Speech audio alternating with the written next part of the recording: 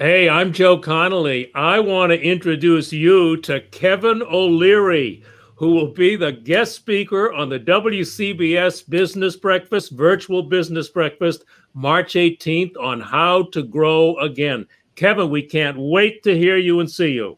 I'm looking forward to it, Joe. I want to talk about the new Digital 2.0 America, an economy that is going to grow like we haven't seen in decades. I'm extremely bullish. It's been a tough year but we see the light at the end of the tunnel. Let's talk about it. All right. We cannot wait. WCBS880.com, March 18th, 9 a.m., presented by the First National Bank of Long Island, member FDIC. See you, Kevin. Take care.